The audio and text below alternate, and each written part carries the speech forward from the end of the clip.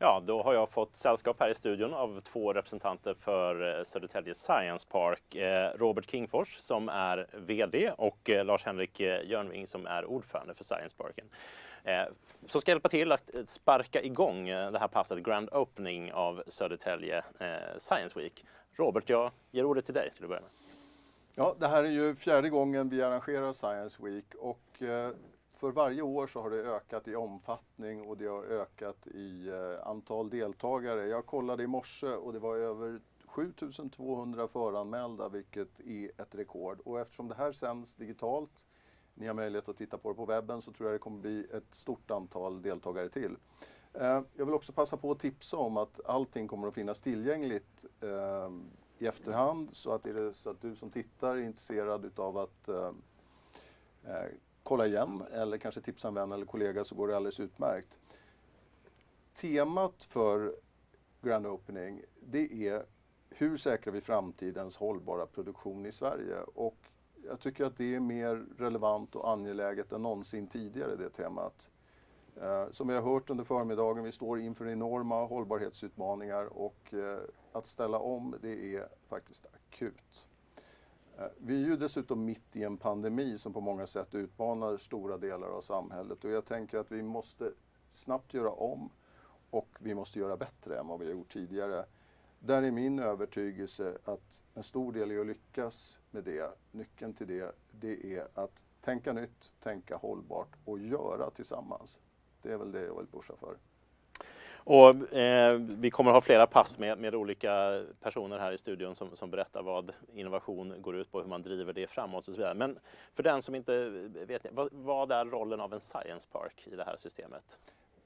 vi är ju spelaren i mellanrummet och, och, och, det har ju visat sig här till exempel i, under den här pandemin som har varit. Vi får digitalisera blixtsnabbt. Eh, vi försöker knyta ihop eh, företag, eh, studenter, forskare och så och har fått ställa om och, och vara den här mötesplatsen i, i år då virtuellt eh, istället för att driva en fysisk mötesplats. Men, men, funktionen är ju att samla, att göra tillsammans. Mm.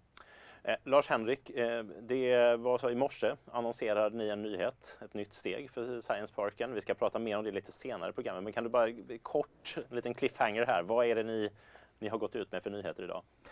Ja, stämmer precis Thomas. Eh, vi, Robert pratar mycket om, om hållbarhet och, och framförallt hållbar produktion som mycket av Science Week kommer att handla om.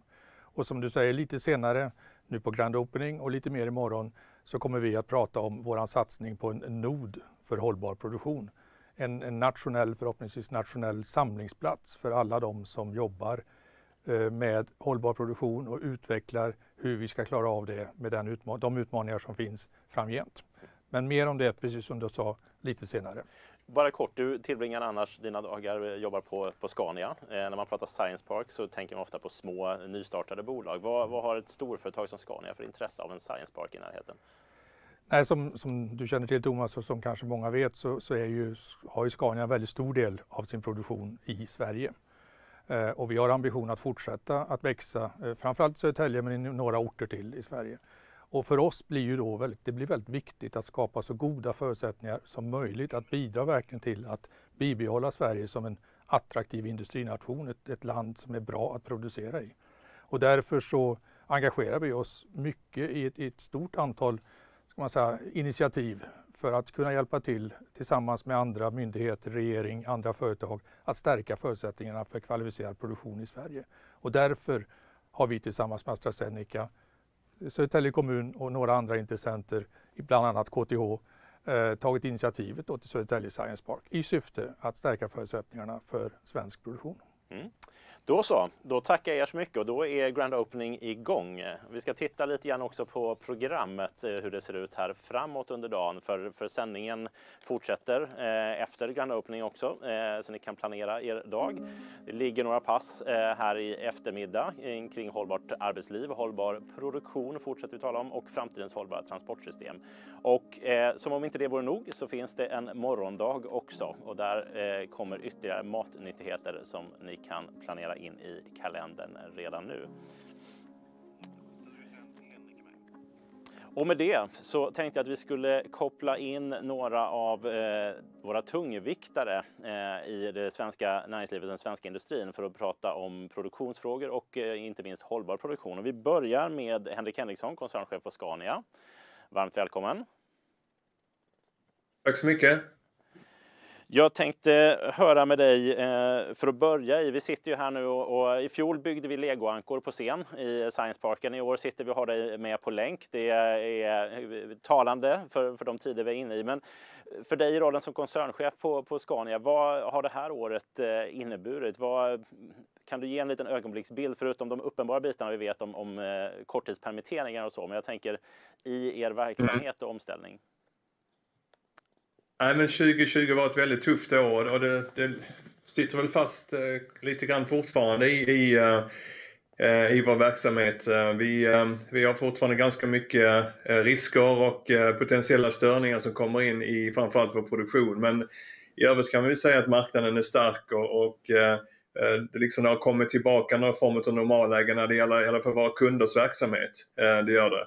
Men, men våra supply chains de är ganska ansträngda just nu. Och men tittar vi tillbaka till 2020 så var det ett väldigt extremt år där vi eh, fick balansera väldigt mycket och verkligen testa vårt globala produktionssystem.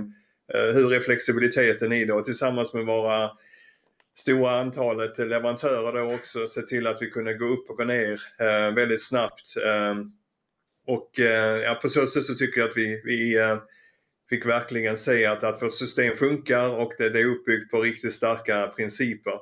Men samtidigt är det väl så också att, att uh, vi fick ju jobba med andra typer av eh, metoder i, i vår verksamhet. Uh, givetvis anpassa avstånd mellan våra montörer till exempel i produktion. Uh, men kanske det, den stora delen var väl också att börja balansera vårt europeiska system med vårt latinamerikanska produktionssystem. Vi tog också ett beslut, väldigt roligt förra året, att vi skulle gå in och sätta upp ett nytt industriellt system i Kina fick möjligheten att ta 100% kontroll av ett eh, kinesiskt bolag. Eh, vilket ger då oss möjlighet egentligen att skapa tre stycken eh, strukturer som vi nu kan använda framöver. Men jag tror det vi lärde oss också det är väl att de här globala värdekedjorna vi har där vi är beroende av leverantörer från ett stort antal länder i världen är, är ganska sårbara. Och vi ser också att vi, vi måste titta på att regionalisera vissa av de här sourcingstrukturerna så att vi skapar en bättre motståndskraft för det.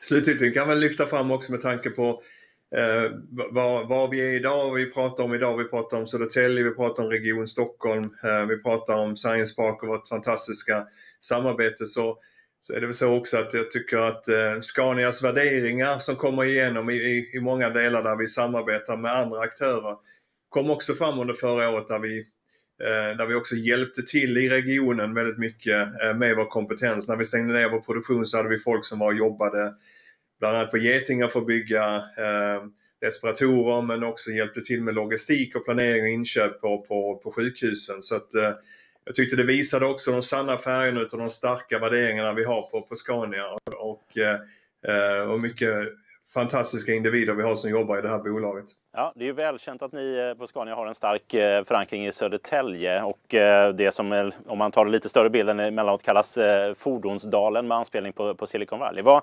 När du blickar framåt, vad ser du förutsättningarna för att, att Scania ska kunna fortsätta ha en stark etablering? Vad är, vad, är det någonting ni saknar, något som behöver till för det?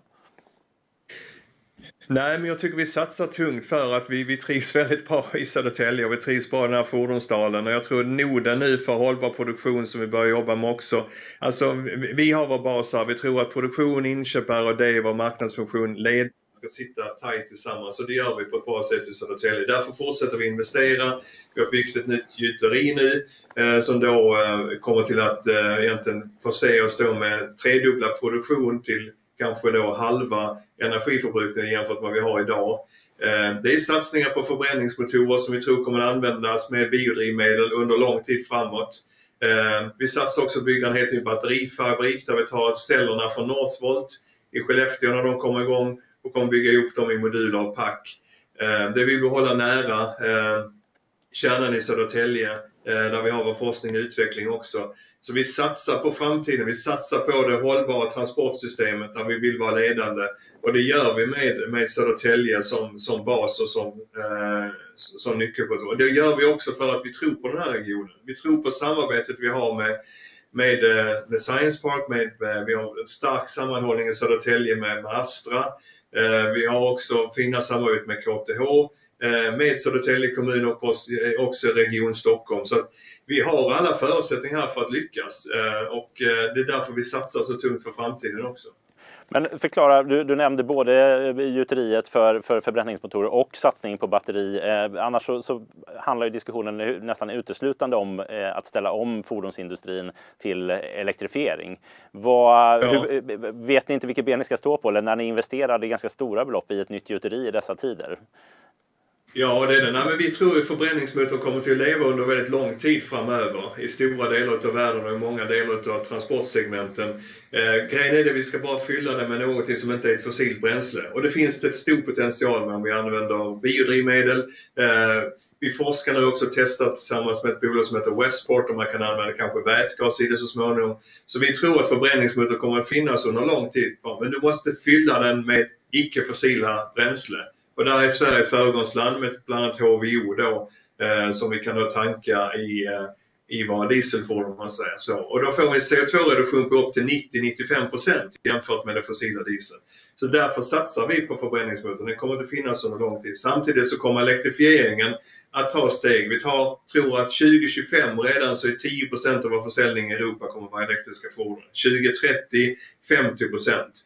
Eh, det som krävs när det gäller elektrifieringen är ju att vi bygger ut eh, laddinfrastruktur och det är inte laddstolparna som sådant, det är ganska snabbt, utan det är den grundläggande stamnätet som måste förstärkas. Vi behöver till exempel i Sverige, i Europa, ett nytt stamnät längs med motorvägssystemet för att kunna ladda de här fordonen. Gör vi det så, får vi en väldigt snabb omställning. Vi tror att de här långdistanstransporterna kan redan ställas om om, om en eh, 3 till 4 år. Då lönar det sig för våra kunder att köpa elektriska fordon eh, istället för eh, fordon som köper förnyelsebara bränslen med förbränningsmotorer. Eh, så ja, vi är inne i en period där det finns ingen riktig silver bullet utan vi måste använda olika tekniker. Eh, och kanske någonstans i vassen så lurar också som bränsleceller. Vi testar det nu. Eh, vi tror dock att, att eh, med den utveckling vi ser på batteri, eh, både när det gäller prestanda och kostnad, Eh, så, så blir det eh, den tekniken som kommer att gälla i alla fall de kommande 5-10 åren som, som huvudalternativ. Jag, jag, vet att du strax ska in i ett annat möte, men jag måste bara höra då, i, som i alla sådana här omställningar där ny teknik flyttar in eh, på eh, områden där det finns etablerade spelare av Scanias eh, sort, så uppstår ju både möjligheten för nya konkurrenter, men inte minst nya regioner som kan vara utmanare. Om vi pratar håll, just hållbar produktion, ser du eh, styrkan du nämnde i, i eh, Södertälje och, och Fordonsdalen, hur står den sig internationellt? Eller, eller ser ni andra hubbar runt om i världen som, som kan utmana den positionen? Nej, men vi ser att vi har tre, tre nav har vi Vi har vårt latinamerikanska och vi börjar nu bygga upp i, i Kina också ett industriellt nav. Och det är för att vara nära den marknaden men också för att där sker mycket av teknikutvecklingen i Kina ligger i framkant. Till exempel när det gäller delar av det autonoma fordonssystemet men även till viss del elektrifiering. Så vi måste vara på plats. Men liksom oavsett så kommer Södertälje och, och Europa att liksom vara huvudbasen där vi utvecklar eh, vår teknik och där vi måste då ha produktion nära oss själva. Där vi också utvecklar produktionstekniker där vi måste ställa om också när det gäller vår eget footprint. För ska vi vara trovärdiga i vår omställning till att vara, driva eh, mot ett hållbart transportsystem så måste vi också städa framför vår egen trappa. Och då måste vi se till att vi bygger ett hållbart produktionssystem och det, det, det börjar vi göra här hemma. Eh, och, och det har vi liksom alla förutsättningar eh, att, att göra och det kommer vi fortsätta att satsa på. Eh, och det är därför också vi har nu liksom tagit initiativ tillsammans med ett antal viktiga spelare som vi kommer att höra om de här två dagarna kring Norden, kring en hållbar produktion. Och det, där finns det rätt förutsättningar för att göra detta. Mm. Då tänkte jag höra om vi har Leif Johansson med oss på, på länk också. Det låter så. Ja. Då tänkte jag innan vi släpper iväg dig Henrik, kan vi få in Leif och eh, höra när eh, Leif, vi ska prata mer med dig eh, om din roll som ordförande i AstraZeneca alldeles strax. Men jag tänkte, du har ju också en mångårig erfarenhet i fordonsindustrin för ett annat stort fordonsbolag, AB, AB Volvo. Eh, när du klev på som vd där någon gång i slutet av 90-talet, vad fanns de här frågorna, vi pratar hållbarhet, var, var det på agendan? Var det på radarn för eh, styrelse och ledning? Eller kan du ge någon slags, eh, hur snabbt har den resan gått? Ja, alltså jag tror att det fanns på agendan men vi hade kanske inte den tekniska eh, utblicken att kunna säga att vi till exempel visste hur vi skulle kunna köra dieselmotorer på, på eh, fossilfria bränslen och så vidare som vi ju lärde oss under min period. Nu är det tio år sedan jag lämnade Volvo. Ja, jag kan väl säga att det som har hänt i sen tid är ju att Eh, Eh, vi har fått väldigt mycket bättre batteriteknik tillgänglig. Så pass mycket som man till och med kan börja prata distributionslastbilar och lättare lastbilar eh, i dem och definitivt personbilar. Ehm, och sen så tror jag också att det som Henrik säger här att, att eh, dieselmotorer är ju inte gjorda bara för att vara fossil diesel utan det viktiga är ju att man kan använda dieselprocessen att också köra fossilfria eh, bränslen i. Va? Och det tror jag är, vi kommer att ha framöver. Men den största skillnaden är nog faktiskt att teknisk utveckling gör saker möjliga nu som vi inte trodde tidigare var möjliga. Mm. Då, då ska vi fortsätta prata mer AstraZeneca med dig Leif. Vi ska tacka Henrik så mycket för att släppa iväg honom till nästa möte. Eh, det, är ju, det blir ju lätt så mötestätt nu när vi kör digitala möten back to back. Jag vet inte, Leif, en, en kort betraktelse. Hur har det senaste året varit för dig under pandemin och i dina olika roller i näringslivet? Ja, alltså det är rätt så intressant att konstatera. Min fru säger att jag inte rest så lite sedan eh, 1977 och det är ju ett bra tag sedan. Eh, men jag har faktiskt varit med på 40% fler möten. Och igår var jag med både i Indien och Kina, Europa, London och eh, också ute i USA. Så att eh, det är ju ur den synpunkten sett ett, ett, ett, helt annat liv och ett faktiskt på många sätt väldigt bra och effektivare liv. Sen har vi ju haft då det motsatta problemet mot, mot lite av det som Henrik beskrev Nämligen att, att eh, vår produktion i Södertälje som ju är en av världens största fabriker och den största inom AstraZeneca.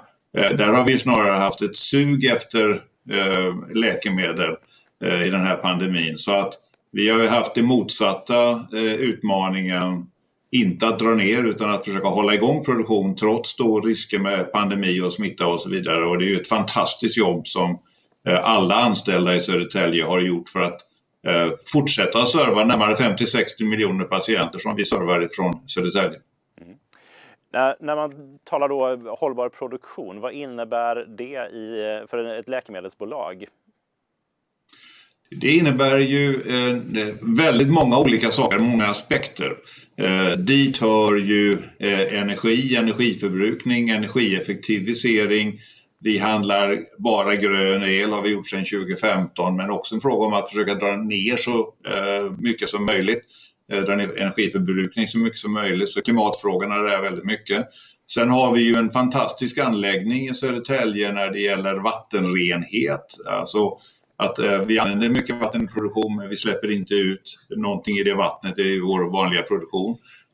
Utsläpp till luft är ju hållbarhetsfrågor också. Och sen har vi ju också en frågeställning som är på sikt eh, och det är ju då när våra läkemedel har använts, eh, går igenom människokroppen och kommer ut i avlopp. Eh, kan vi hjälpa till och bidra till eh, i eh, olika reningsanläggningar och hur man, hur man kan eventuellt återvinna eh, läkemedel och så vidare. Som ju är inte primärt det som vi sysslar med i vår produktion för det är ju väldigt spridda ehm, utsläpp då. Men ändå sådana som jag tror att på sikt vi kommer att behöva adressera. Och det där du nämner är ju intressant för det tror jag är en fråga många inte tänker på när det gäller hållbarhet. Att, att idag saknas egentligen, det är inte tillräckligt bra teknik för att rena det som har gått igenom kroppen. Att det, det kommer ut läkemedelsrester i vattendrag och sjöar och, och så vidare. Hur långt framme och vilket, framförallt vilket ansvar känner du som ordförande i ett läkemedelsbolag att, att ta för den delen av, av kedjan? Ja, det, det ansvar jag definitivt känner det är ju att vara med i diskussionen om eh, hur vi kan göra det på ett bra sätt. Eh, och det är ju eh, kanske fortfarande lite på forskningsstadie eller applikationsstadie i alla fall. Och jag är gärna med och ser till att Astra eh, blir en bra dialogpartner i det sammanhanget. Däremot ser jag kanske inte att vi ska börja köra reningsverk. Eh, men Eh, allt som vi kan göra för att bidra till att vi får renare vatten kommande ur reningsverk downstream där, det är jag gärna med. Om, om du tar på dig den lite större hatten, du talar ju ofta gärna för, för eh, det svenska näringslivet i bredare kretsar också, eh, vet jag. Och då, en fråga som ofta återkommer kring just hållbarhet är hur djupt rotat är det i bolagen idag? Eller när kommer en kris förflytta på detta och, och säga att ja, men det, vi får prioritera det sen när vi har, har råd igen? Vad är, om du handen på hjärtat så att säga, hur, hur långt har näringslivet kommit? Handen på hjärtat och speciellt som du tog det här perspektivet sedan eh, 96-97 när jag började jobba med Volvo så är vi ju i en helt annan situation. Alltså då var det rätt så radikala saker som behövdes göras. Så nu skulle jag sagt att det är snarare i avrapporteringsskedet gentemot styrelser. Astra tog ju ett, eh, ett väldigt eh, eh, skarpt beslut här att vi ska vara scope 1, scope 2 klimateffektiva, klimatneutrala per 2025 och sen också vara scope 3 klimatneutrala 2030, det vill säga all vår anläggning och allting runt omkring oss. Ehm, det, det, är ju beslut som jag skulle sagt vi inte ens skulle tekniskt veta hur vi skulle kunna adressera för kanske tio år sedan. Eh, och nu definitivt på styrelsens agenda men snarare mera som avrapportering av en naturlig del av strategin. Eh, och jag tror inte faktiskt att några kriser kommer att bryta i det eh, ordentligt. Jag tror att vi har lärt oss i industrin i allmänhet att man, om man är med på det som randvillkor från början så behöver det inte nödvändigtvis betyda dramatiska investeringar. Ehm, vi har sagt i vårt fall att det är en miljard dollar ungefär. Det är ju jättemycket pengar i absoluta mått mätt. Men det är inte så att det är några pengar som vi inte skulle kunna eh, få tag på även, eller kunna använda även om det var så att vi hade en rejäl kris i samhället runt omkring oss. Vi, vi har ju en sån här. I gengäld då, vad, vad är det för, för, svåra nötter ni sitter och klurar kring idag? Om du, du blickar framåt som vi om kanske tio år kommer säga, men det där var, det var svårt eh, 2021 och nu kring 2030 när hållbar, ja, ur hållbar, jag tänker Agenda 2030, FN-målen, eh, ja. när de ska gått i, i mål. Vad är det för, för någonting som du tror vi blickar tillbaks då till, till det här året och säger att det var, det var en svår nöt att knäcka? Ja, alltså vi, vi har ju eh, några drivgaser i några av våra produkter. Eh, svåra astmatiker men också svåra KOL-patienter behöver inhalatorer där man blåser in läkemedel till halsen med en speciell drivgas. Det är en drivgas som har eh, för högt CO2 eh, avtryck och där har vi en, en teknisk nöt att knäcka för att se till att vi ska kunna använda en annan drivgas. Så det är ett, ett väldigt sådär specifikt fall kommer att kosta en hel del pengar att göra bra men vi tror att vi har tekniska lösningar på det som vi kan göra. Så det tror jag vi kommer att titta, inom Astra kommer vi titta tillbaka på så att det där lyckades vi få till i den här tidsperioden. I övrigt så tror jag det eh, finns mycket att göra när det gäller att fundera på hela system i uthålligt, eh, alltså transporter får bli en del av hur hela systemet värderas. Eh, och det kommer väl med, med sannolikhet att innebära att en del kommer lite närmare det är svårare att göra det när det gäller riktigt sofistikerade produkter eh, som eh, kommer in i våra värdekedjor. För det är ju väldigt sofistikerade produkter med väldigt höga kvalitets och certifieringskrav.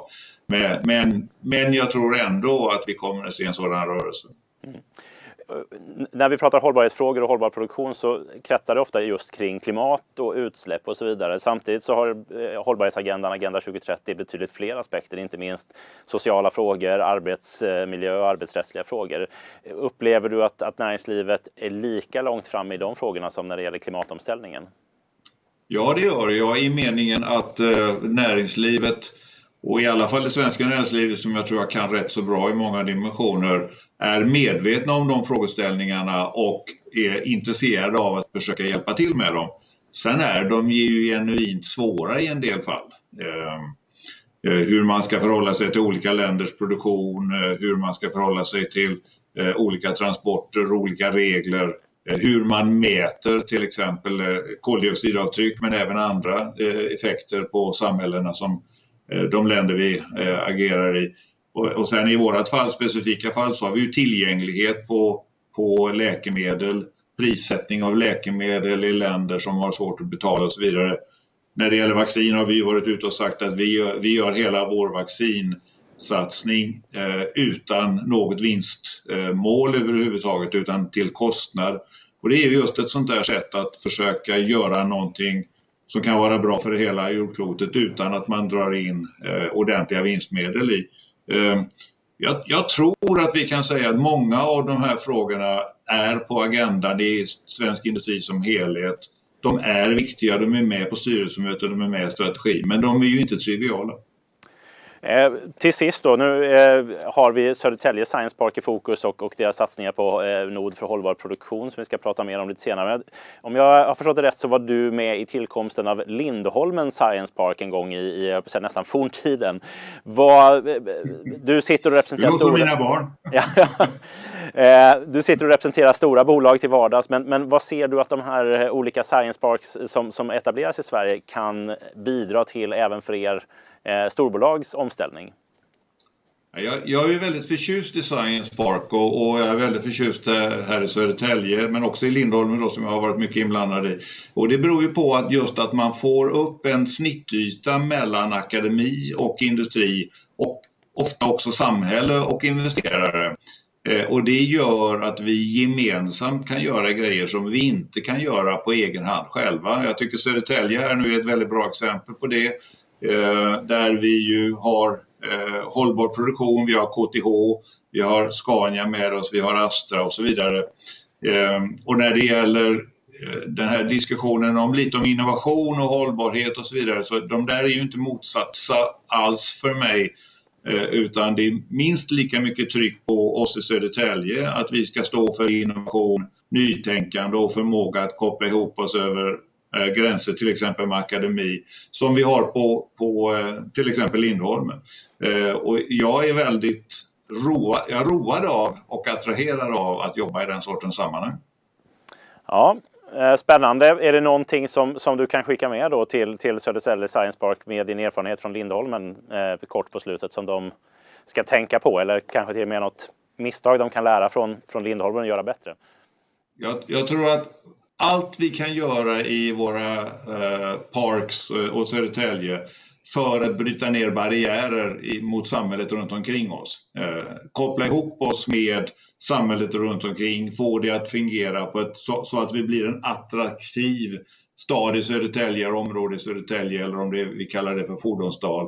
Eh, allt sånt vi kan göra för att få ner barriärer och inte sitta i slutna rör och prata är väldigt bra.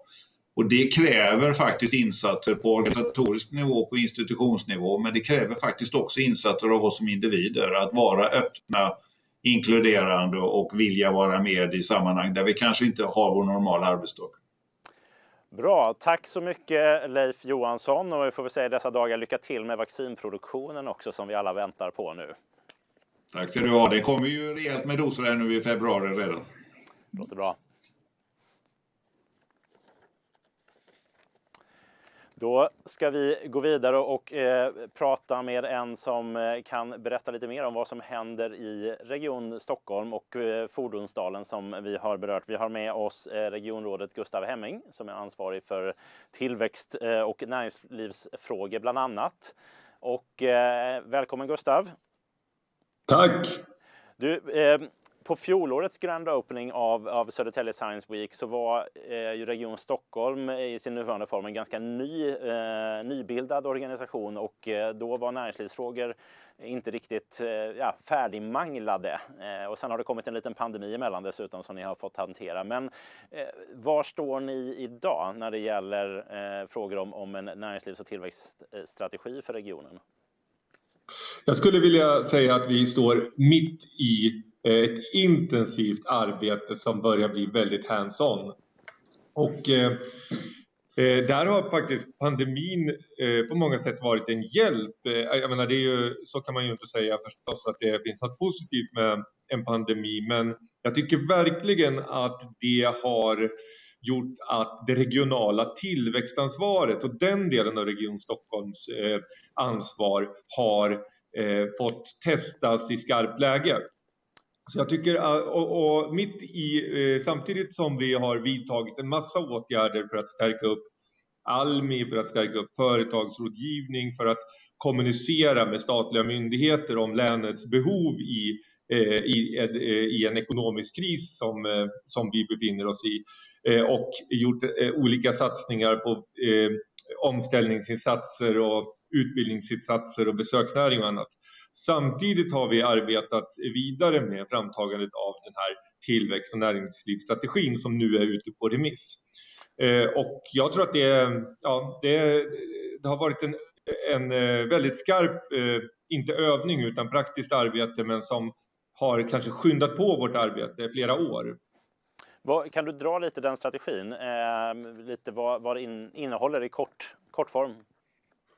Ja, I kort form kan man jag vet inte hur, hur detaljerad det ska vara här, men det är jag klart att avbryta dig. En, en grund, ja precis, en grundfundament är förstås att vi är en region som är och vill vara högt i de internationella värdekedjorna. Så forskning, innovation och specialisering är ju jättecentralt eh, i den här strategin. Hållbarhet är väldigt centralt. Eh, inte bara därför att vi måste lösa till exempel miljöutmaningarna och klimatutmaningarna, utan därför att det också är, är sund näringspolitik i dagens läge. Och Stockholmsregionen har ju väldigt bra förutsättningar, eh, hela vårt näringsliv, att, att liksom genomsyras och ha det som en av sina viktigaste uspar i, i, i den internationella konkurrensen, att vi leder hållbarhets, eh, eh hållbarhetsanpassningen av världen. Att, vad, eh, vad, spelar en, en, region för roll i det arbetet då? Eh, vad kan ni bidra med som inte näringslivet klarar själva i det? Ja, vi, vi kan inte göra särskilt mycket på egen hand utan vår roll är ju helt och hållet att vara en samarbetsfrämjare. Eh, jag tycker att vi, vi är en ny region så vi, vi ska vara lite ödmjuka i det att det kommer säkert att finnas utveckling vi kan göra. Men vi kan också lära oss av de som är riktigt duktiga. Eh, en sån region är ju Västra Götalandsregionen. De har mycket mer resurser och får också mycket mer resurser från staten. Men de väl, jobbar väldigt bra och strategiskt med eh, de regionala tillväxtfrågorna. Men sen är det ju också så att Södertälje kommun är en inspirationskälla för oss som region i hur man kan arbeta med att, att säga ja till viktiga eh, initiativ, vara med i ett tidigt skede och, och, och testa idéer Oavsett om det sen är Fordonsdalen eh, eh, och, ansträngningen att skapa ett hållbarhetsfordonskluster i Mälardalen där vi är med och drivande. Eh, eller om det är inrättandet av ett teknikcollege för att stärka kompetensförsörjningsinsatserna och locka fler ungdomar att söka till de här viktiga teknikyrkena som inte minst är viktiga för industrin. Så det, vi vill vara en organisation som säger ja och som är, eh, som är med med våra visserligen ibland begränsade resurser eh, och, och liksom ser till att, att det blir kritisk massa i, i viktiga utvecklingsprojekt. Du, du nämnde inledningsvis bland annat eh, forskning och eh, det är ju kanske någonting som i alla fall internationellt eh, Stockholmsregionen är väldigt känd för. Eh, både globalt ledande forskningsinstitut och en hel del eh, uppstartsföretag eh, inom tekniksektorn. Jag tänker IT, telekom eh, etc. Och sen finns det ju de som ser eh, det som vi pratar om idag kring industriproduktion som, som lite grann den gamla tidens eh, viktiga eh, näringsliv. Men ni satsar även där framåt och vi pratar Fordonsdalen och så här. Förklara för den som, som är mer förälskad i nya techbolag och gillar det varför sådant som, som Scania och AstraZenecas närvaro i Södertälje är, är viktigt för regionen. Jag, jag, brukar säga att Sverige har världens bästa industriföretag. Jag är själv från Bergslagen och eh, Skinnskatteberg där, där Systemair har vuxit fram. Och, och eh, jag tror att det är ett väldigt viktigt folkbildningsarbete för politiker i hela Sverige att förklara att Stock, Stockholmsregionens och Sveriges liksom, konkurrensframgångar och, och, och, relativt starka ställning i värdekedjorna, det bygger på att vi lyckas koppla en gammal stark industritradition till eh, några av de liksom vassaste eh, akademiska miljöerna i världen och, och få ihop eh, ett väldigt eh, högt kunskapsinnehåll med produktion av varor och tjänster för inte minst export. Så att jag tycker inte det egentligen är svårt. Däremot är det slående hur okänd eh, ibland eh, eh den oerhört starka ställning Stockholmsregionen har också när det gäller varuexport är eh, i vårt eget eh, län. Där man ju förstås, eh, jag menar techsektorn, man kan ju säga att var, fordonsindustrin ingår också i den idag. Men, men liksom ICT och, och IT och Kista, det är kanske mera liksom känt. Men jag tycker nog att vi vi har en ökad medvetenhet i regionen om, eh, inte bara Region Stockholm, utan i liksom den geografiska regionen om att eh, vi har fantastiska industriföretag också i Stockholmsregionen som just liksom är högt i värdekedjorna och, och ledande inom sina områden. Så hur... Det vill vi bygga vidare på. Just det. Och så hur gifter du, planerar du att gifta ihop Södertälje och Kista för att ta, ta just det exemplet? De styrkorna som ja, finns där... på respektive ställe. Där kan man ju säga, där är ju projektet Fordonsdalen ett eh, liksom, klockrent exempel där, eh, där vi just eh, kopplar ansträngningen att, att synliggöra och skapa ett, eh, ett fordonskluster i Stockholm och Mälardalen med eh, ambitionen att vara ledande inom hållbarhet. Och där vi också ser att, för, att en av de största riskerna i eh, liksom vår, vår fordonsindustri, det är att underleverantörer och mindre företag inte kanske hänger med i den här utvecklingen utan att man ser till att, att de stora och de små eh, kan skapa ett starkare ekosystem. Men jag vill också nämna vår ambition som är svår, men en av de nio utpekade regionala prioriteringarna i vår regionala utvecklingsplan, det är ju att vi ska elektrifiera transporterna i Stockholms län. Och vi vill ju att utbyggnaden av elvägar i Sverige ska ta sin start mellan Norvik och, och Västerhaninge på väg 73 och att vi sen ska rulla ut elvägnätet med utgångspunkt från Stockholmsregionen och att vi ska vara pionjärer där. Det är förstås att skapa också en levande testbädd eh, för, eh, för eh, eh, vår fordonsindustri i Stockholm och Mälardalen. Just det, för det, det, är en roll som näringslivet ofta efterlyser, det, det offentliga som upphandlare av nya lösningar. Att, att eh, upphandlingar kan ofta förknippas med trögrörliga processer, men, men det skulle kunna gå att göra någonting annat och det som, som ofta nämns som innovationsupphandlingar, det vill säga att, att handla upp kanske lösningar istället för bara färdiga produkter. Så hur, hur stor andel eh, av upphandlingarna som, som regionen gör tror du kommer vara den typen av innovationsupphandlingar i framtiden?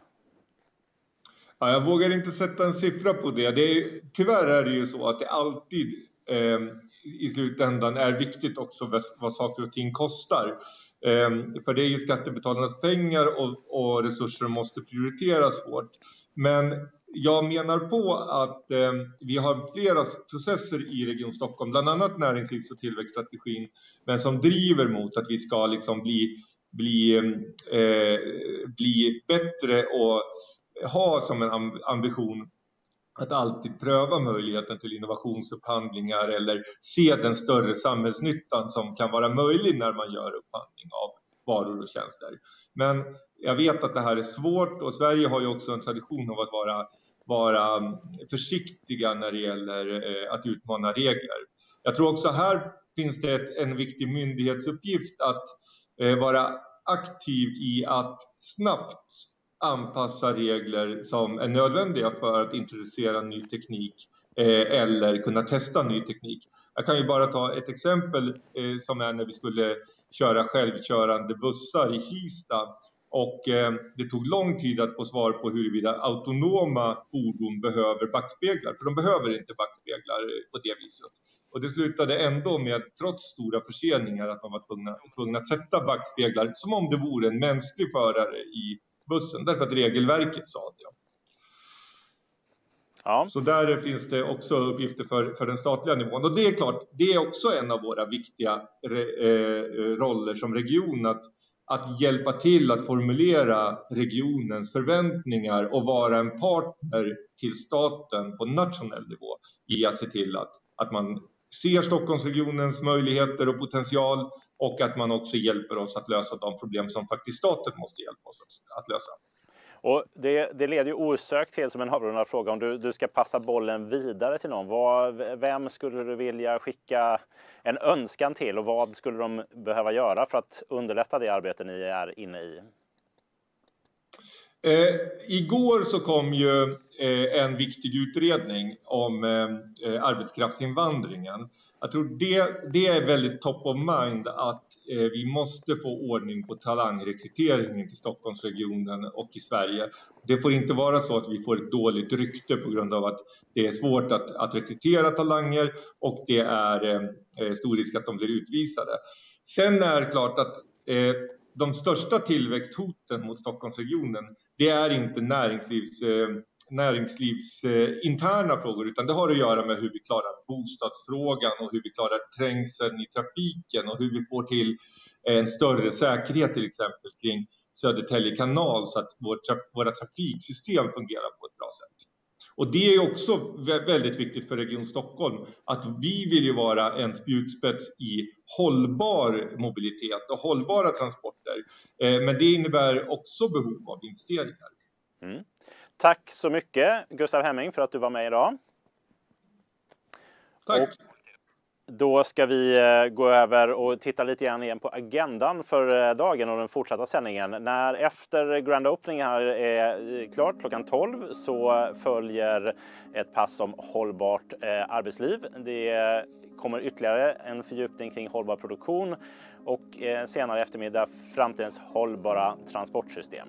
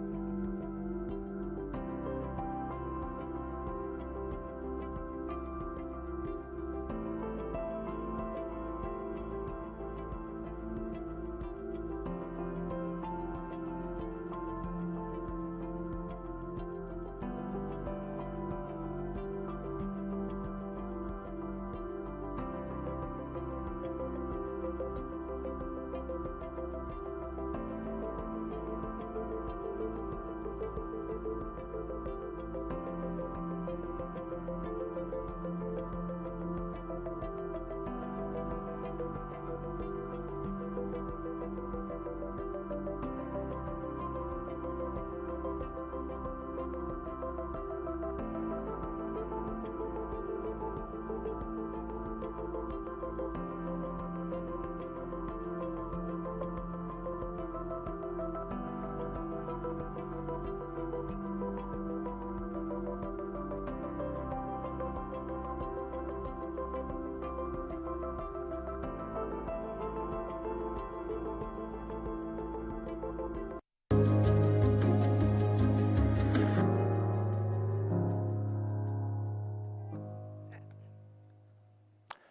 är vi tillbaks och har med oss Darja Isaksson som är generaldirektör på den statliga innovationsmyndigheten Vinnova och även tidigare ingått i Stefan Löfvens innovationsråd. Välkommen Darja! Hej hej! Hej! Du, jag tänkte, du har eh, lite eh, funderingar, en presentation som vi ska börja med innan eh, vi går över till frågor. Så att jag ger ordet till dig, varsågod. Ja, men tack så mycket Thomas. Jag är jätteglad att få vara här och att jag kunde få lyssna på tidigare talare, för jag tycker att vad vi redan har hört visar att vi är överens om något väldigt viktigt, nämligen behovet och möjligheterna i omställning till ett hållbart samhälle. Varför det är så viktigt, det är ju för att vi lever just nu i det forskarna kallar för det avgörande decenniet. Det är det här decenniet som avgör om vi lyckas öppna ett möjlighetsfönster för våra barn att leva och verka i en värld som är bättre än den vi lever i idag. Gedigen evidens visar med all önskvärd tydlighet hur otroligt viktigt det är att vi lyckas med det här. Därför att nu är det planeten som sätter hårda deadlines för oss och den bryr sig måttligt om vår riskaptit eller vår innovations eller investeringsförmåga. Och vi vet också att vi kan inte lösa dagens utmaningar genom att fortsätta arbeta i institutionella silos, därför att dagens utmaningar är globala och komplexa.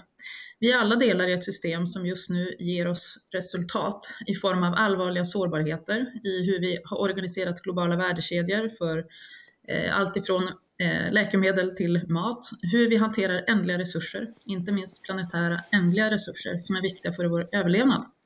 Och vi har också lärt oss av pandemin att till och med en nedstängning av stora delar av samhället har nu resulterat totalt sett i en 7 i nedgång av våra globala koldioxidutsläpp.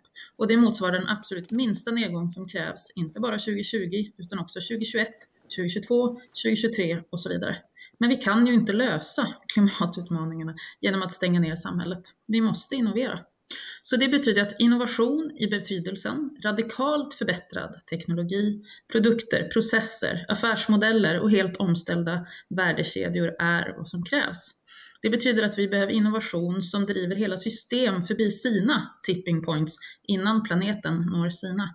Och det betyder att innovation är inte längre bara en fråga om att hålla sig konkurrenskraftig utan en existentiell nödvändighet för vår generation. Brådskan i det här innebär att länder, organisationer, städer, individer som kan gå före, behöver gå före, visa ledarskap och lösningar som andra kan dra nytta av. Sverige är ett land som kan och kommer att visa vägen, därför att vi kan det, men också därför att det vi hör idag visar på att vi förstår att det här också representerar den största möjligheten till värdeskapande sedan den första industriella revolutionen. Vi är alltså överens om att den här transformationen av vad och hur vi producerar, bygger och konsumerar också kommer att behöva göras på ett sätt som stärker social hållbarhet. Idag, med den publiken som är här idag, så är jag säker på att det jag säger är självklarheter. Och vi ser att näringslivet redan fattar strategiska beslut baserade på vetenskapligt baserade mål för exempelvis klimatpåverkan. Och vi ser hur svensk industri och akademi arbetar tillsammans med höga ambitioner i att ta ledningen i att utveckla framtidens produkter och affärer.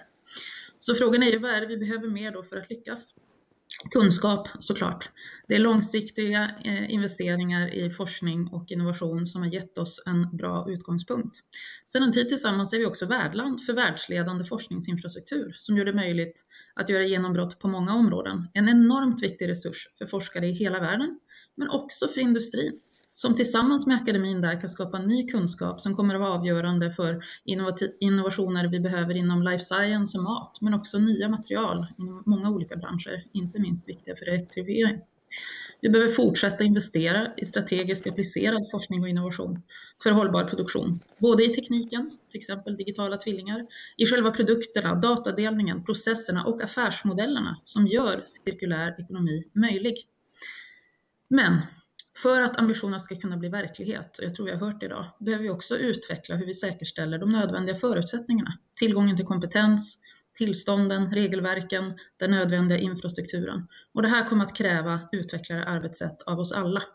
Vi behöver gemensamt kunna utveckla lösningar i ett systemperspektiv som inkluderar de nya tekniska innovationerna med den nödvändiga infrastrukturen och regelverken.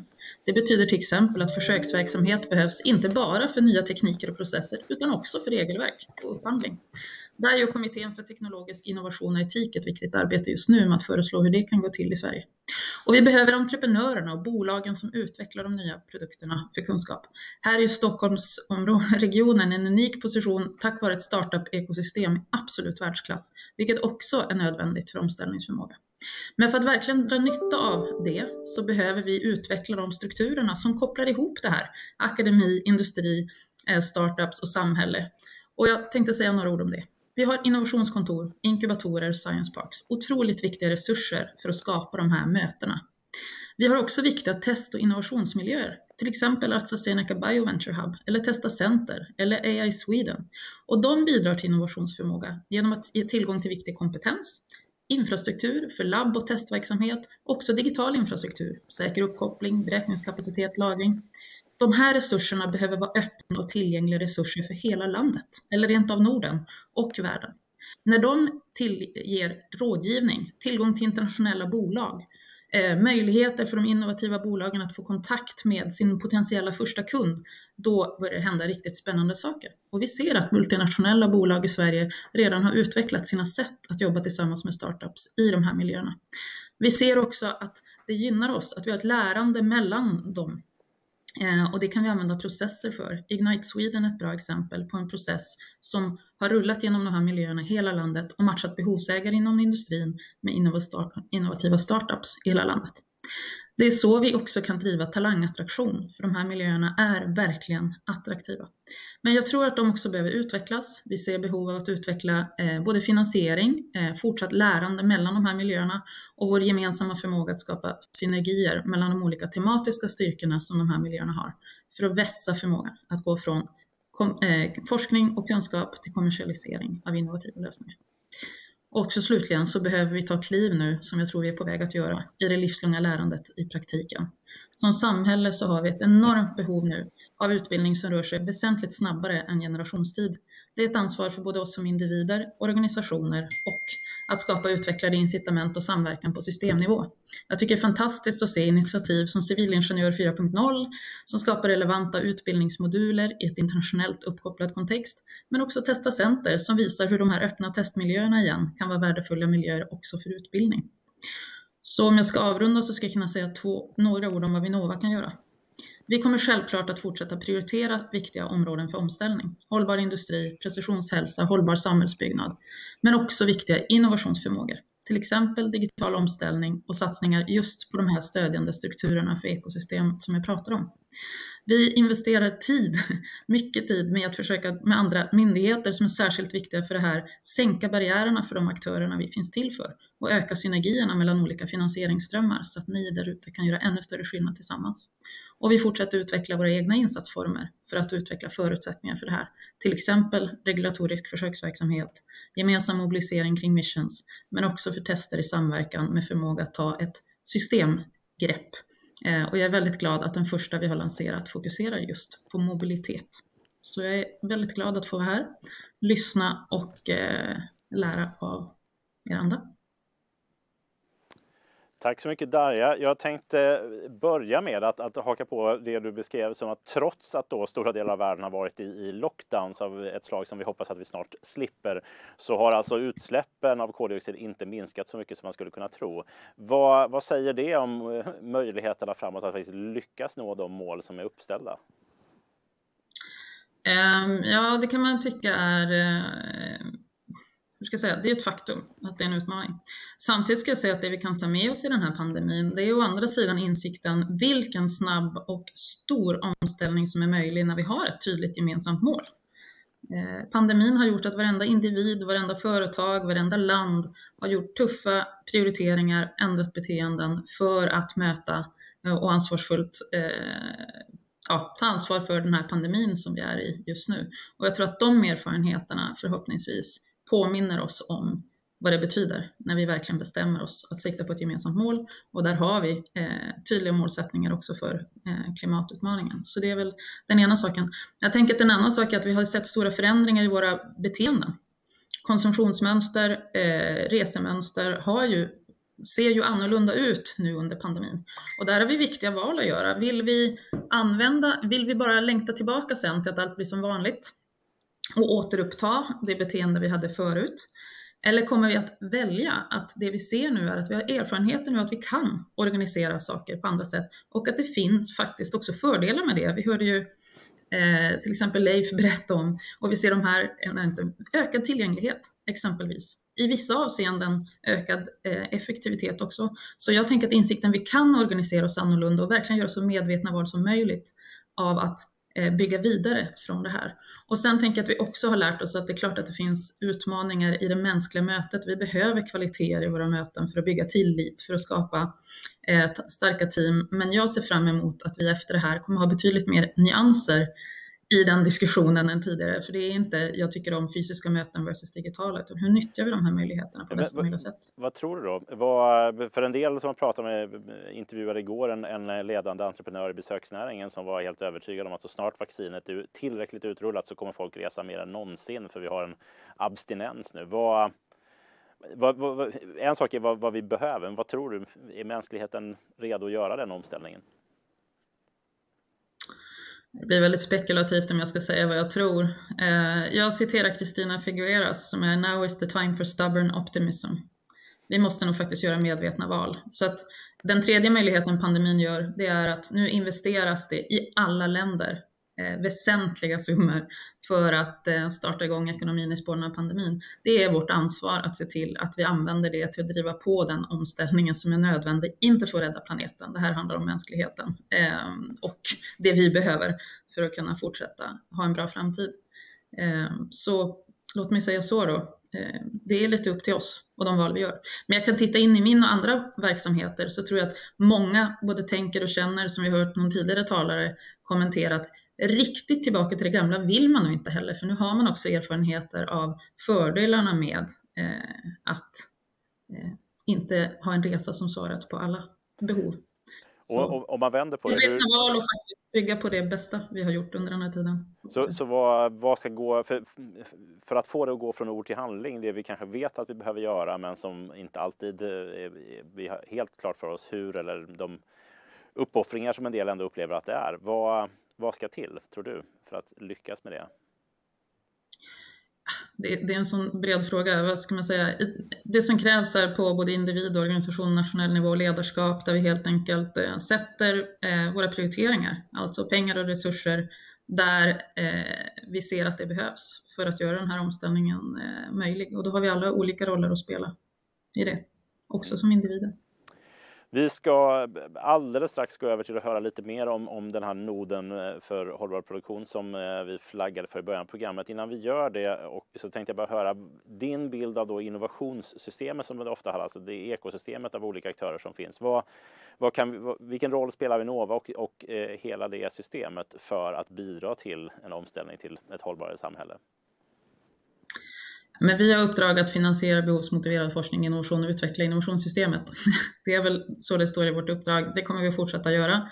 Eh, det kan vi göra på många olika sätt. Jag kan bara säga att det är när vi har eh, dialog med aktörer omkring hur kan vi åstadkomma större skillnad tillsammans som ni hjälper oss att också vässa eh, våra verktyg och ansatser. Jag upplever att vi har en väldigt, väldigt goda förutsättningar för det också med andra myndigheter. Så jag vet inte om det svarar på din fråga. Vi kommer att behöva fortsätta stärka strukturerna för ekosystemet. Vi kommer att behöva använda våra medel för att skapa incitament och möjligheter för samverkan, eh, experiment tillsammans i den här riktningen. Eh, vi prioriterar i vår budget tydligt utifrån de här eh, utmaningarna inom till exempel hållbar industri, men också det som krävs för att göra det möjligt. Så fortsätt ha dialog med oss omkring hur vi kan göra det bättre och så kommer vi att köra på. Något annat tänker vi inte prioritera. Det var enkelt. Mycket. Tack så mycket Darja Isaksson för att du var med oss. Och eh, vi ska då, eh, innan vi kommer in på den här presentationen av den nya noden för eh, hållbar produktion, så tänkte jag, när vi pratar om hållbarhet så handlar det om framtiden och vilka är bättre att lyssna på då än de som faktiskt ska ta över? Så vi ska släppa på en film här med några ungdomar bland annat som funderar kring hållbarhetsfrågorna.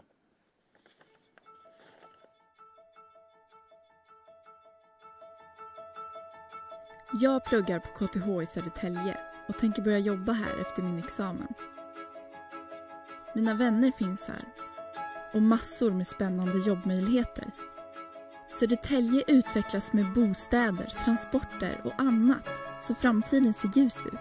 Jag tycker det är bra att både näringslivet, högskolan och kommunen satsar på hållbar utveckling. Det vill jag vara en del av. När jag startade mitt bolag för tio år sedan hade jag aldrig kunnat tro att det skulle växa som det gjort. Nu med facit i hand så vill jag fortsätta växa här i Södertälje i minst tio år till. Att Södertälje satsar på hållbar produktion ger oss företagare bra möjligheter framåt. Jag har ett viktigt arbete på AstraZeneca utvecklar och producerar vi läkemedel som förändrar människors liv över hela världen. Och det känns bra att hela företaget satsar på hållbarhet, oavsett var vi finns.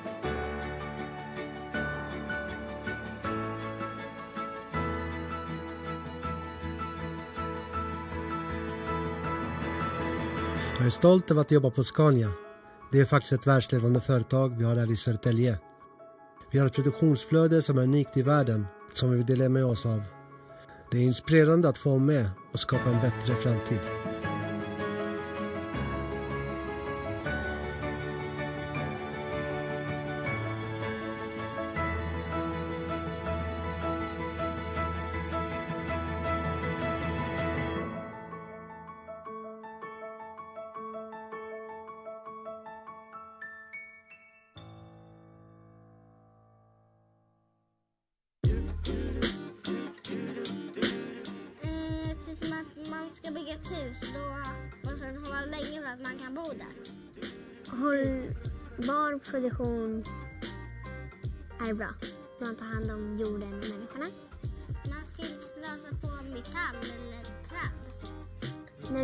Stora är det viktigt att det är hållbart.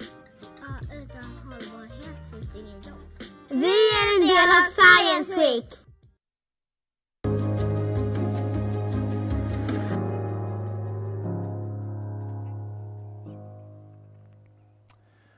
Välkomna och särskilt välkommen säga till, till Lars-Henrik eh, som är Lars-Henrik Jörnving, eh, ordförande för Södertälje Science Park som är tillbaks eh, med mig här i studion och vi har också med oss på länk Margareta Groth. Hej Margareta från Vinnova. Du är ansvarig för det nya området hållbar industri. Och jag tänkte vi vi börjar med dig Margareta och hakar på egentligen där, där eh, Darja, din chef då, eh, på myndigheten, avslutade.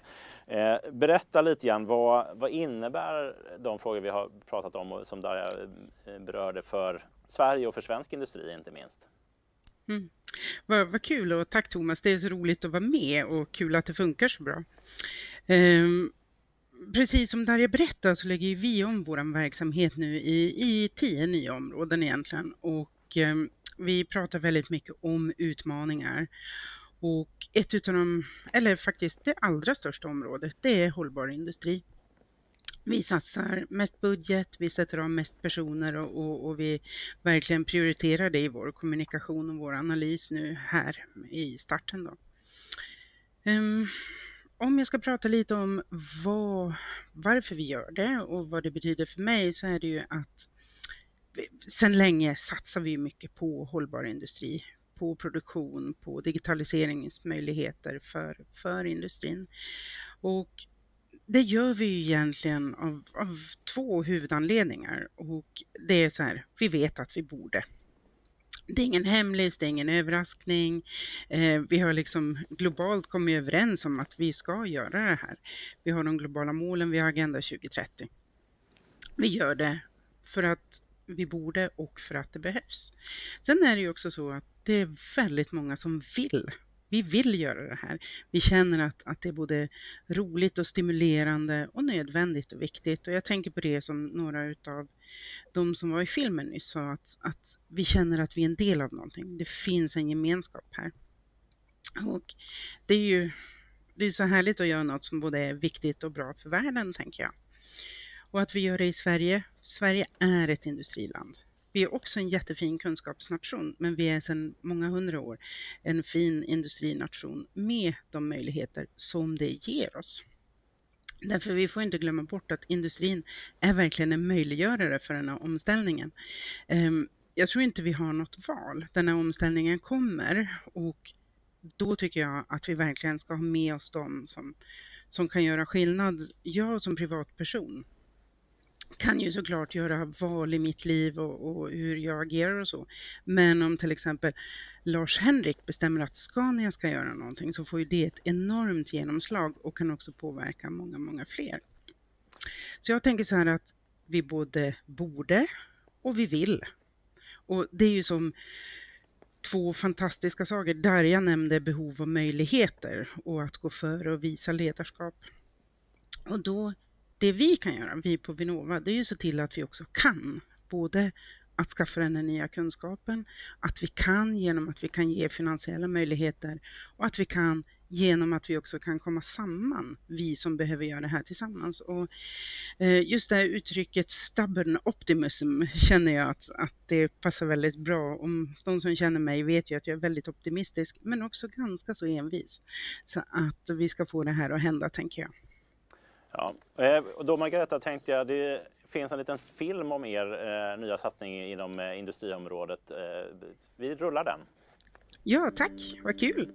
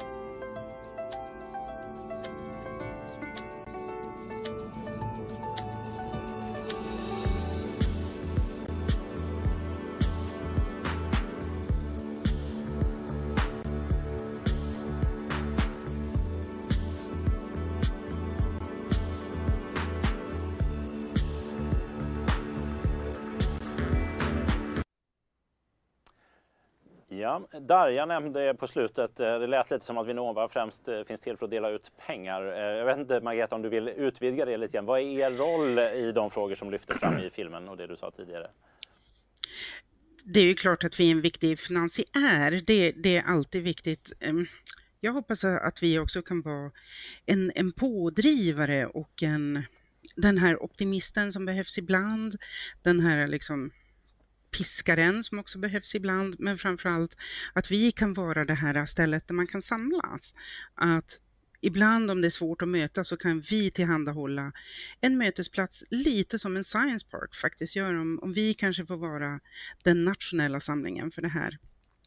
Och eh, så att om man vill bidra så ska man känna att ja, men jag kan snacka med Vinnova, de vet var det behövs göra saker. För att det behövs göra saker. Det kommer att vara väldigt mycket som vi behöver göra och kanske någonstans i det där så kan vi vara en del i den prioriteringen också, tänker jag.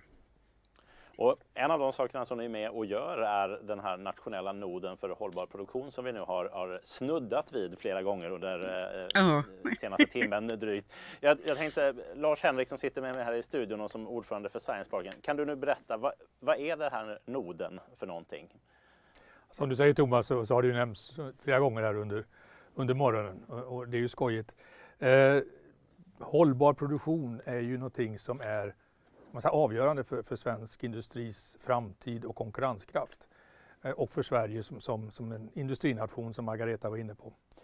Eh, Södertälje Science Park har ju eh, som initiativtagare bland annat Scania och AstraZeneca, Södertälje kommun, och KTH, eh, starka ska man säga, industriella parter. Och eh, från, egentligen från början när vi skapade Södertälje Science Park så handlade det väldigt mycket om hållbarhet och hållbar produktion. Eh, vad vi nu har gjort under det året som har gått är att, att förbereda en, en, lansering, en etablering av en nod för hållbar produktion i Södertälje på Södertälje Science Park. Eller en nationell nod förhoppningsvis för hållbar produktion. Hållbar produktion är ju inte bara, ska man säga, miljö, det är oftast det vi pratar om när vi pratar hållbarhet. Men det är minst lika mycket människorna i systemet och ekonomin. Alltså ett, ett, eh, en hållbar utveckling fungerar inte utan företag som, som gör goda resultat och på så sätt kan fortsätta att bidra till, till det som är avgörande för framtiden. Inte bara för oss som, som tillverkande företag utan för hela samhället, hela, hela världen så att säga. Eh, vad vi vill göra nu och vi har identifierat tillsammans, inte bara vi definitivt inte, utan att med många andra intressenter i Sverige, företag, institutioner, akademi, myndigheter, är en kraftsamling runt utvecklingen av hållbar produktion i Sverige. Och för det så tror vi verkligen att eh, Nod för hållbar produktion är ett kraftfullt verktyg att stärka det som pågår. För det är långt ifrån så att det här är på något sätt nytt. Men det finns ett stort antal, om man får säga öar i Sverige där vi jobbar intensivt med att utveckla idéer, tankar, arbetssätt, tekniker, verktyg för hållbar produktion. Kan vi samla ihop det till ett ställe så kommer det bli mycket starkare resultat. Så att noden för hållbar produktion är, den kommer givetvis vara fysiskt, en samlingsplats för de som jobbar, tänker, engagerar sig, vill vara en del av utvecklingen av hållbar produktion i Sverige. Fysiskt på plats i Södertälje, men också en nationell virtuell nod, om man får använda det ordet, där vi, för, där vi samlar ihop de intressenter, de initiativ som finns för att stärka de gemensamma förutsättningarna.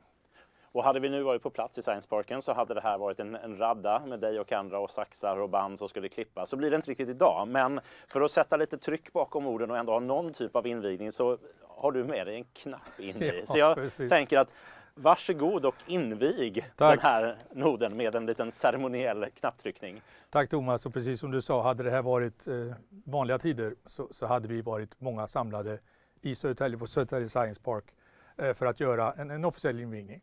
Men nu gör vi det digitalt. Och med det så skulle jag vilja säga att jag inviger Norden för hållbar produktion i Södertälje på Södertälje Science Park genom att trycka på knappen här.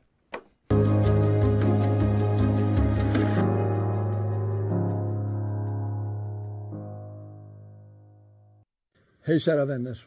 Jag hade ju gärna gjort det här på plats. Men som bekant är vi mitt i en pandemi och då får vi hitta lösningar. Lösningar i det här fallet digitala lösningar. Vi vet ju att utöver den här pandemikrisen som vi är mitt i så är vi också mitt i en klimatkris. Vi vet ju också att industrin är en av de delar av samhället som har bidragit till den här krisen genom stora utsläpp. Samtidigt är jag ju både övertygad och jag tror vi alla är medvetna om att också i finns många av de lösningar vi behöver just i vår industri. För eh, rätt hanterat kan ju den här klimatkrisen leda till en omställning som ju inte bara bidrar till att göra, göra, eh, göra gott för, för, för djur, natur, miljö och klimat.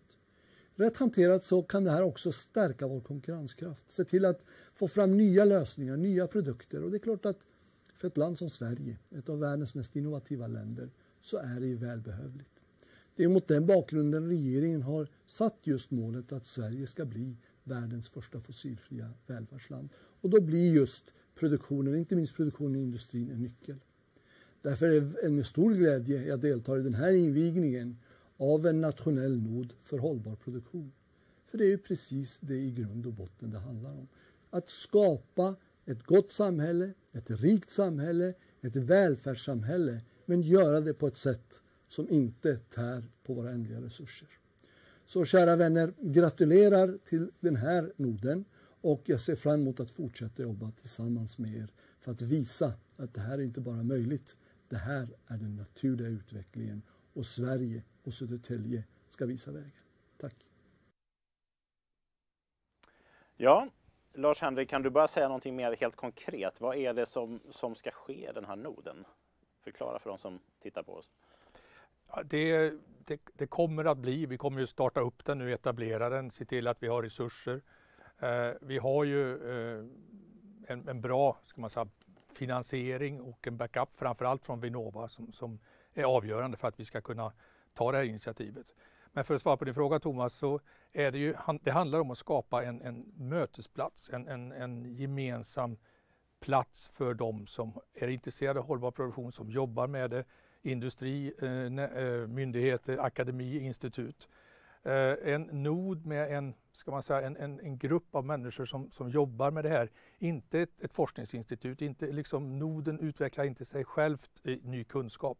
Men har ett stort nätverk, känner till alla intressenter, har en förmåga att samla ihop de som passar ihop för att tillsammans initiera utvecklingsprojekt, forskningsprojekt, gemensamma tester, piloter för att stärka ett stort antal olika intressenters förmåga och kunnande inom hållbar produktion.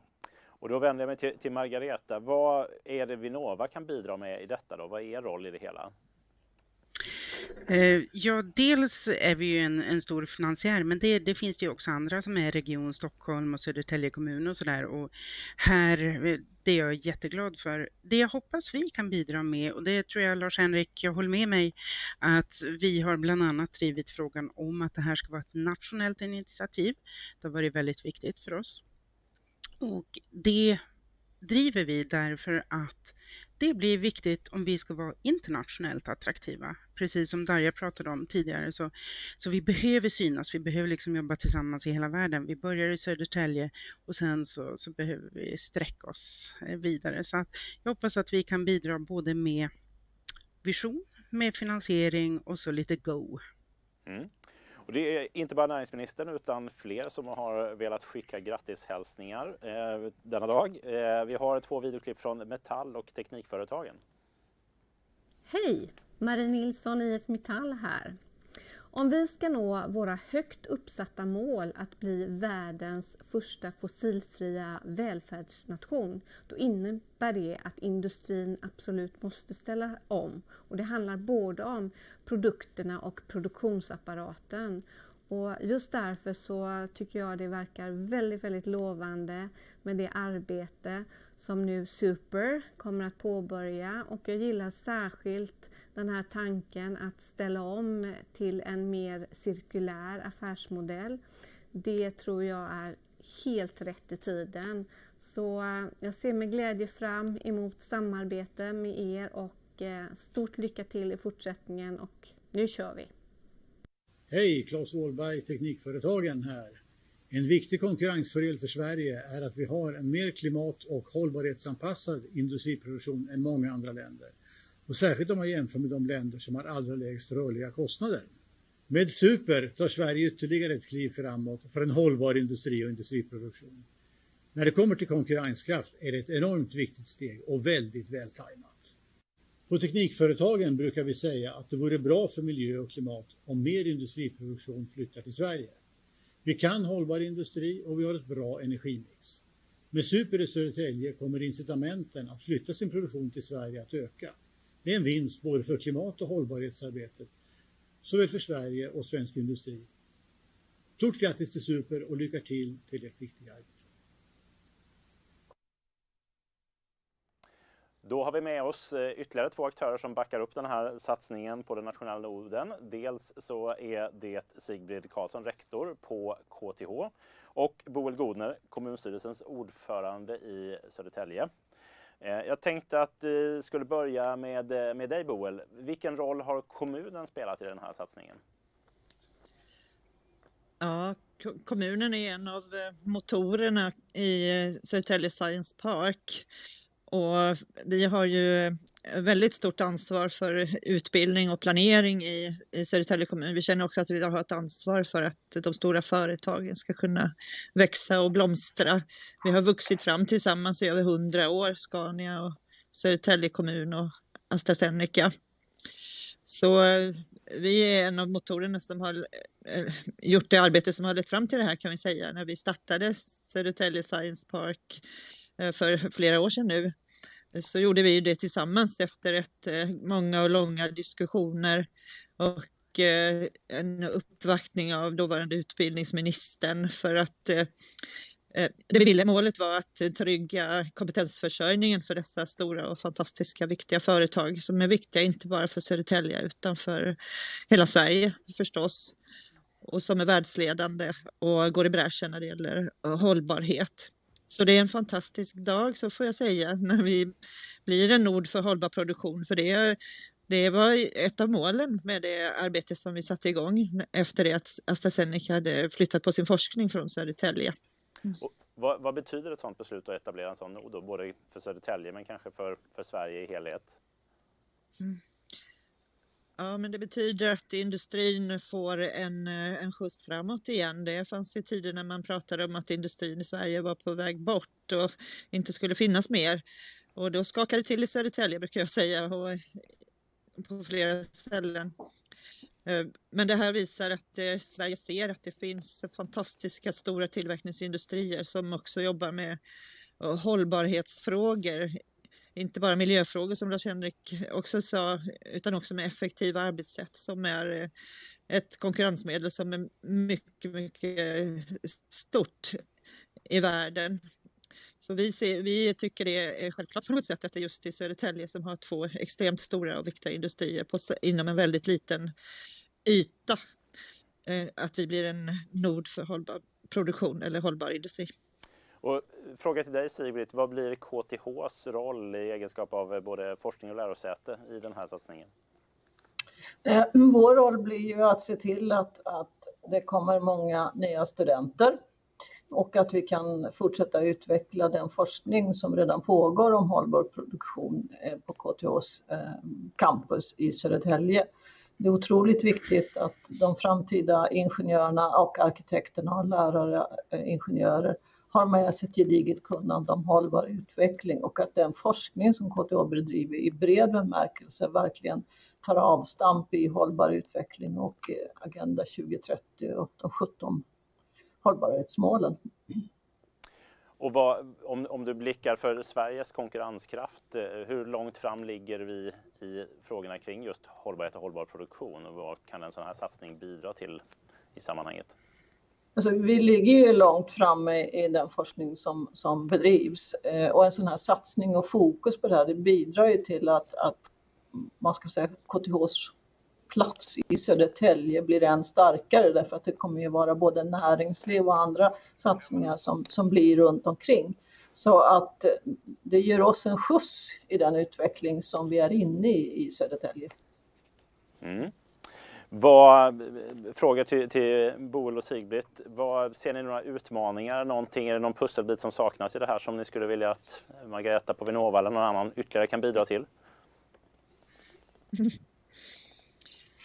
Ja, nej, men vi, vi är ju verkligen, vi har kommit en bit på väg i vårt arbete, men nu, nu blir det en ny, ny skjuts på arbetet och KTH är, är ju extremt viktigt som eh, en av, eh, vad ska vi säga, noderna i den här noden utan tvekan för kompetensförsörjningen.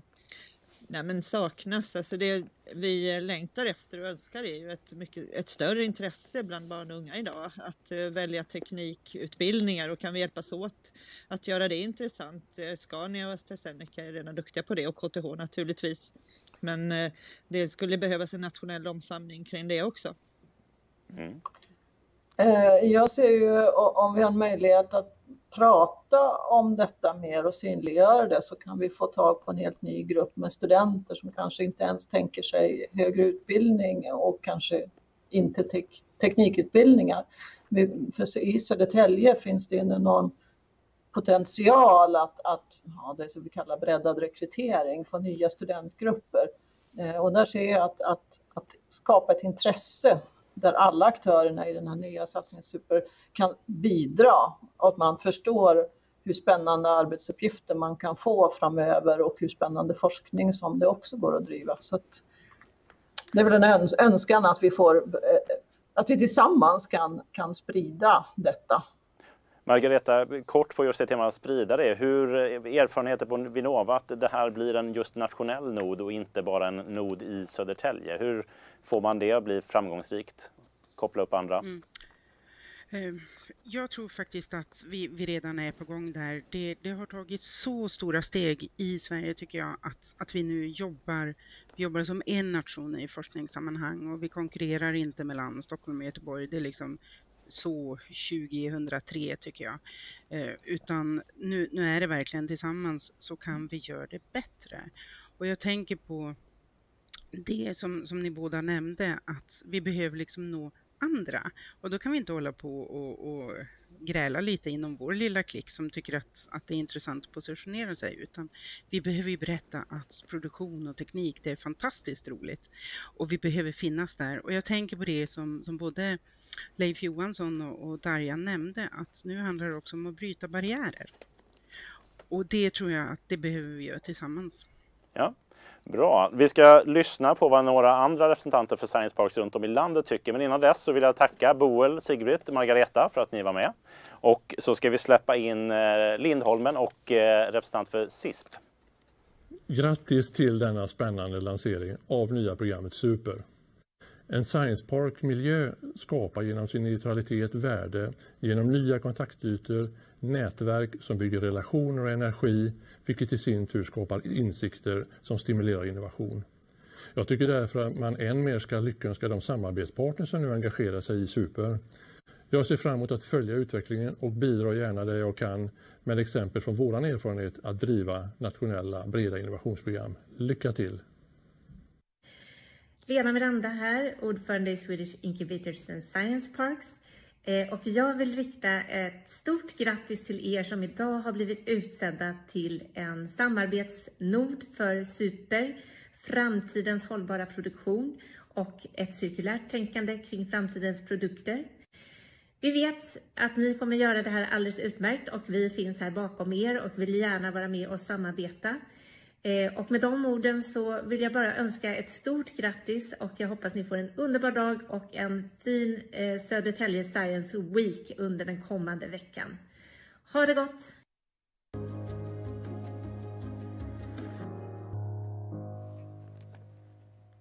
Ja, Lars-Henrik, nu har ni höjt förväntningarna rejält med gratulationer från hela landet och näringsminister och hela eh, gänget. Vad, den som nu känner sig intresserad och, och vill hänga på den här satsningen, vad ska man göra?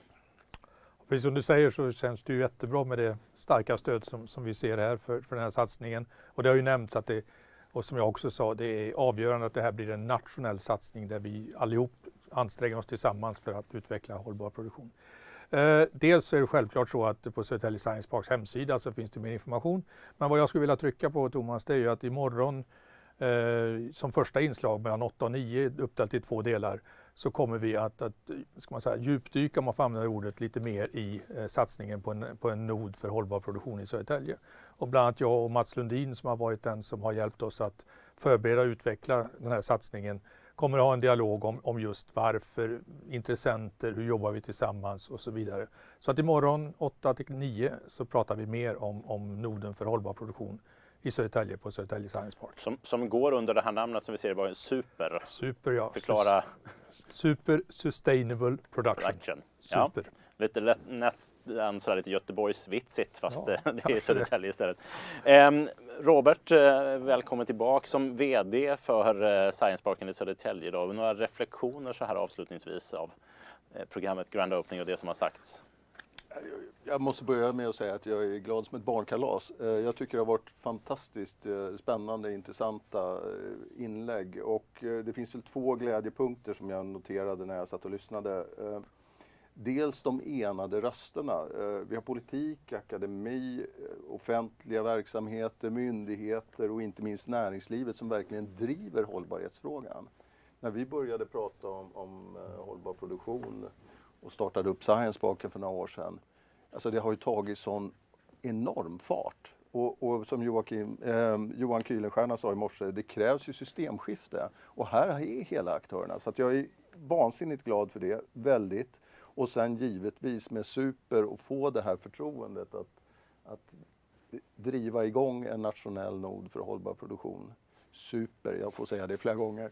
Eh, och jag vill verkligen bjuda in för att det här är en nationell nod och jag tror, som jag har tjatat om varenda gång jag varit med här idag, tillsammans. Det här är en nationell nod. Vi behöver vara med allihopa för att titta på hela produktionsprocesser och återbruk och så vidare. Och, och det gör vi. Vi kallar gärna till möte i Södertälje men det bygger på att alla är med.